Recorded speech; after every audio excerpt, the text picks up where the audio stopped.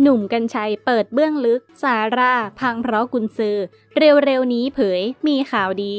ความจริงมีอะไรกว่านั้นเยอะมาก จากกรณีดราม่าซาร่าคาซิงกินี กับไมค์พี่รัต ปมการขอร่วมการปกครองน้องแม็กซ์เวลล์สู่ปมวิพากษ์วิจารณ์ หลังซาร่าประกาศมีลูกสาวอีกคน คือน้องเอมิลี่กับวาดิมนายแบบหนุ่มยูเครน และจะแต่งงานกันในปีหน้า ก่อนที่วาดิมจะโพสต์เปรี้ยงลั่น จบกับซาร่าตั้งนานแล้ว โดยฝ่ายหญิงเป็นคนบอกเลิกเองทำซาร่าเครียดหนักมากตอนนี้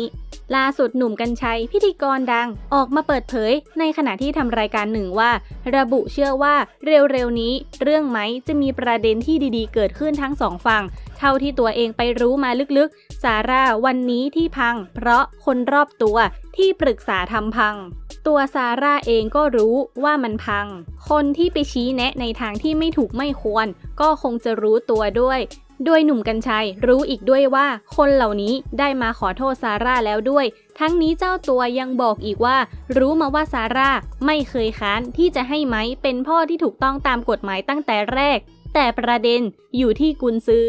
วันนี้ขอบอกตรงนี้ว่าซาร่าเดินไปข้างหน้าก็ชนกำแพง สิ่งที่จะแก้ไขได้ตอนนี้คือ ต้องถอยหลัง วันนี้ถ้าซาร่าล้มสักคน คนลำบากคือลูกสองคน แต่กุนซือไม่ได้เป็นอะไรด้วย ความจริงมีอะไรกว่านั้นเยอะมาก วันนี้ซาร่าน่าจะรู้แล้วว่าต้องทำอะไร อะไรควรทำอะไรไม่ควรทำวันนี้ซาร่าต้องหยุดต้องหาทางจบให้ดี